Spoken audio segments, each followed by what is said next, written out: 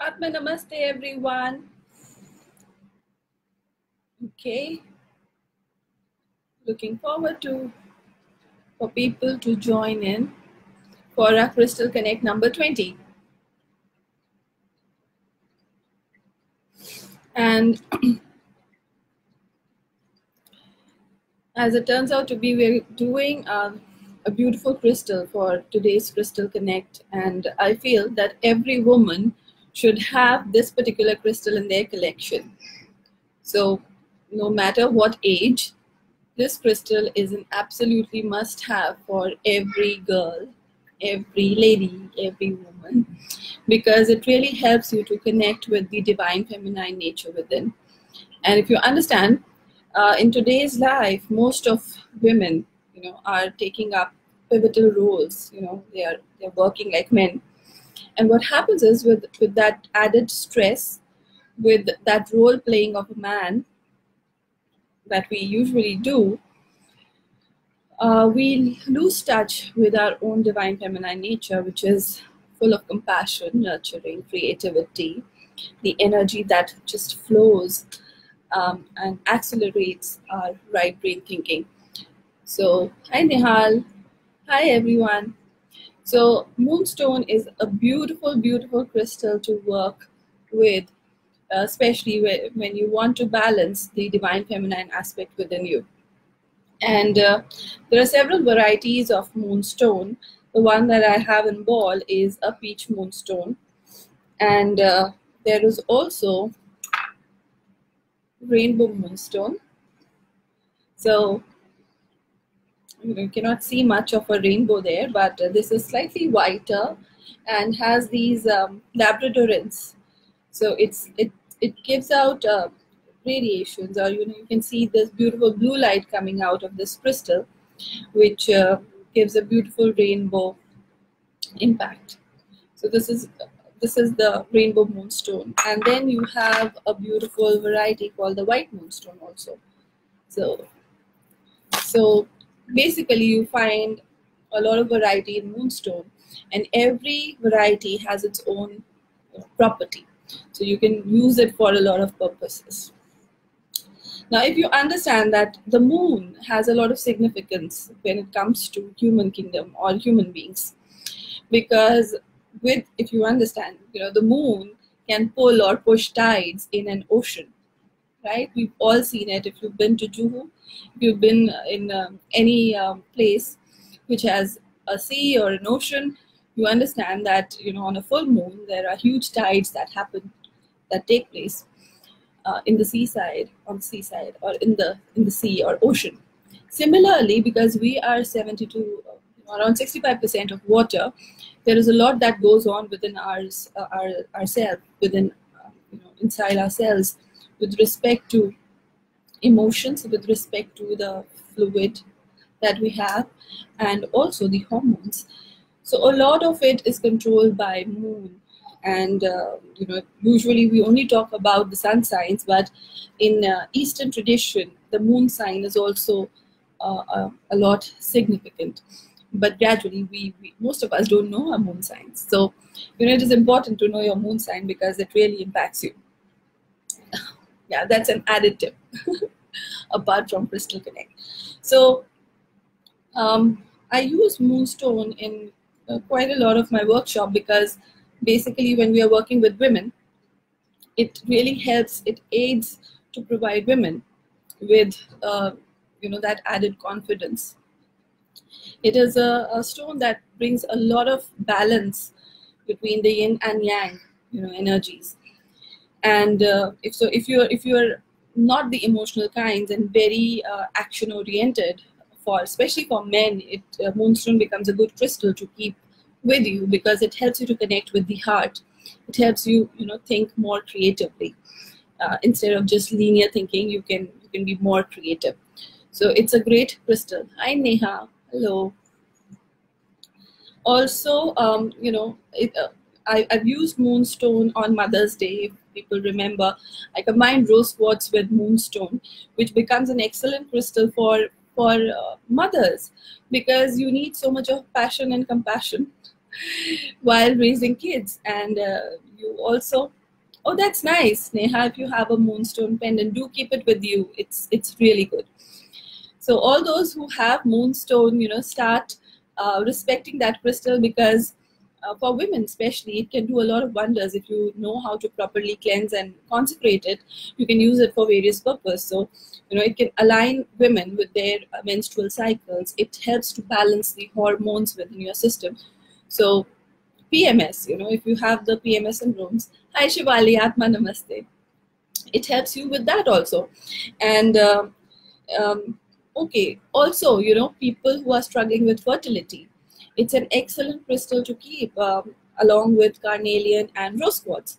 So you can create a beautiful belt out of these three crystals if you want to you know conceive or wear a nice bracelet with the i have one. I think we created one with the moonstone carnelian and rose quartz. It's an excellent combination uh, for uh, for people who want to have a baby it's uh, and uh, women who want to have a healthy uh, reproductive system. It really aids aids all of that. So you know that is for women. But in ancient tradition you know uh, moonstone was a very revered stone especially in india.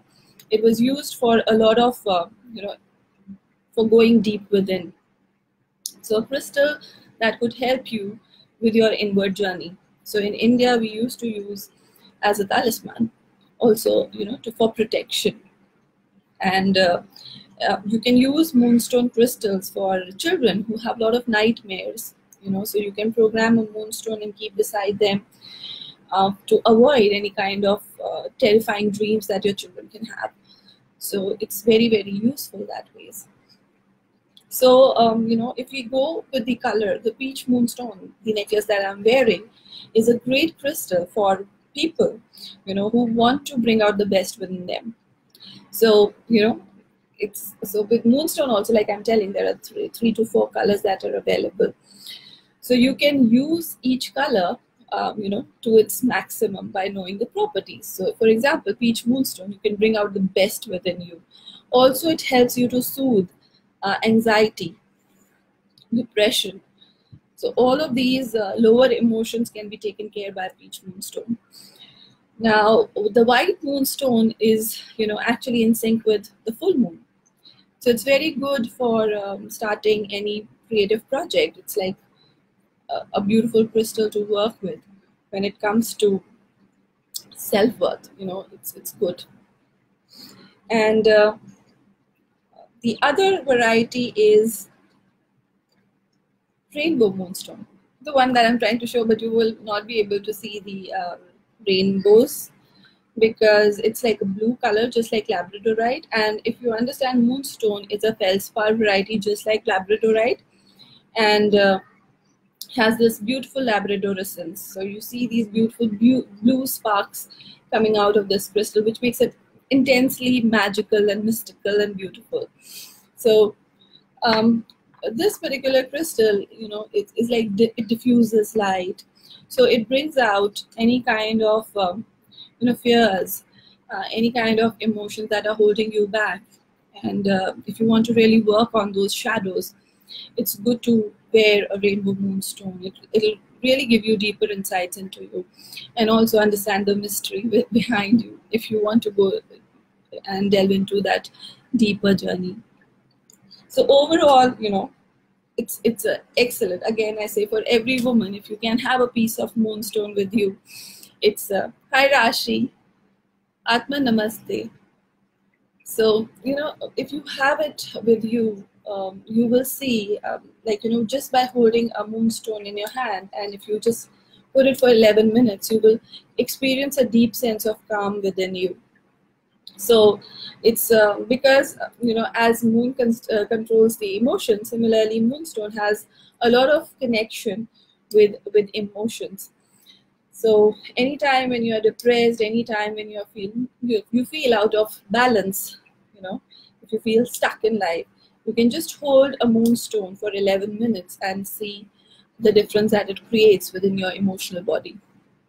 It's like you know magical. And uh, So you can also wear uh, moonstone jewelry. So especially, you know, on occasions like new moon. So if you understand, new moon is the time of manifestation. And if you have to work a lot with manifestation, my go-to crystals are moonstone, selenite, and labradorite. So these three crystals are excellent for working during the new moon time. And also for full moon rituals. You know, they, are, they are connected with the Selene goddess or the moon goddess. So you can program them, you can keep them while you are making your wish and uh, infuse the energy of the full moon or moon into your rituals. Also, um, like I said, it's an excellent crystal for fertility. So people who are struggling with fertility or they have issues with their reproductive, especially women have issues with their reproductive system, you know, carry a, a, a moonstone along with carnelian. It will really help. This is a very good combination for women.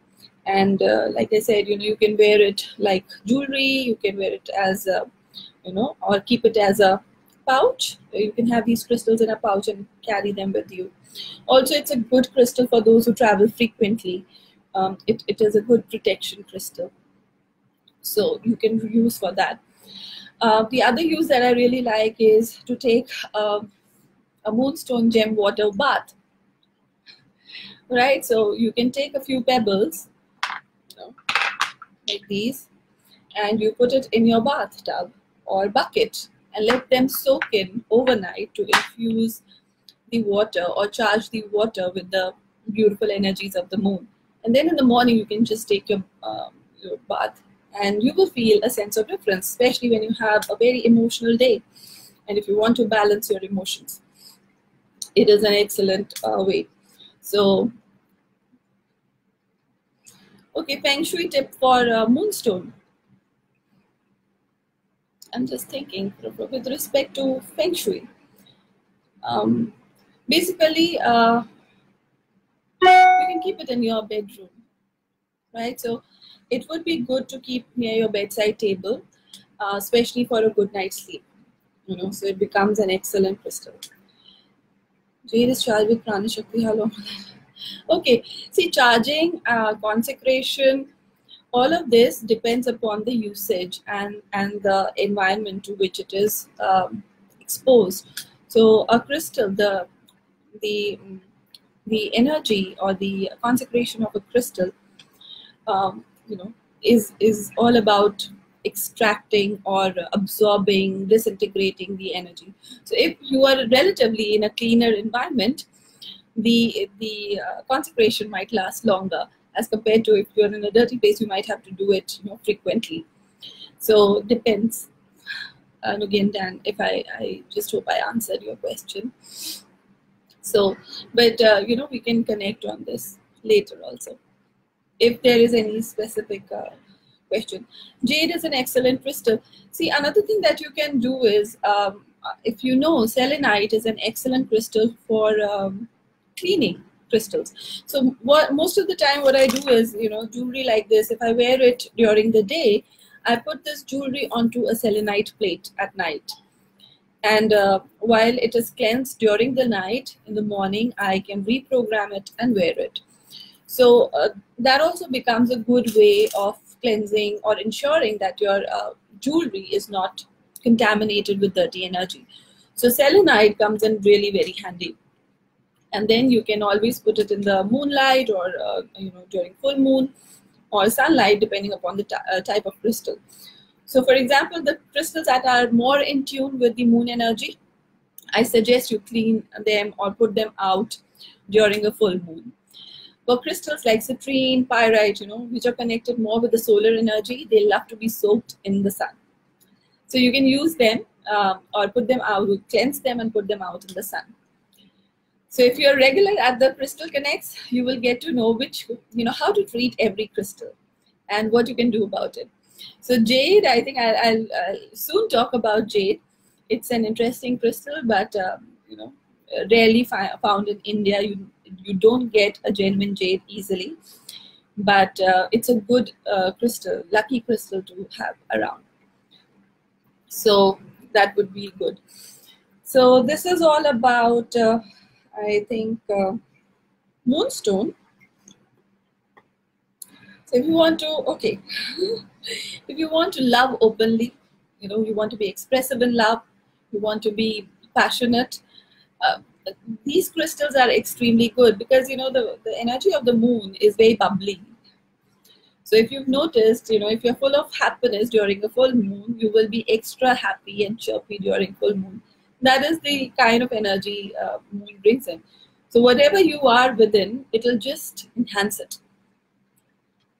So a great crystal to wear during the times of happiness as well because uh, you know it tends to bring out more happiness, more love, more emotions within you.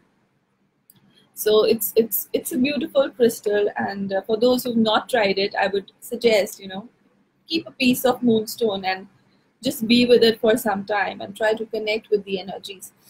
You will feel a difference, especially in your emotional body. And most of us, you know, connect a lot with our emotional body as compared to our mental bodies. So uh, these crystals are really helpful in exploring our own emotions, our own blockages in terms of emotion. Okay, so uh, I'll be writing a blog on it, and uh, you know I've already updated the blog on shungite and uh, all the previous crystals. So if you want to read more about crystals, go to sargamishra.blog, and you will find all my Crystal Connect, uh, you know, blogs there. If you want to see previous Crystal Connect videos, please go on the YouTube channel, which I will post in the comments and you can see previous videos without you know going on Facebook and just looking for these videos. So thank you so much for joining and uh, Namaste. If you have any questions, you can post. And I would like to hear your uses of uh, Moonstone. How do you use your Moonstone? And if you have any other interesting ways, you can definitely share with me in the comments. And also, you can subscribe my Crystal Alchemy page uh, for latest uh, jewelry um, on crystals and um, our new stock. So thank you so much. The next Crystal Connect will happen from UK. So I'll see you there. Bye. Good night. Atma Namaste.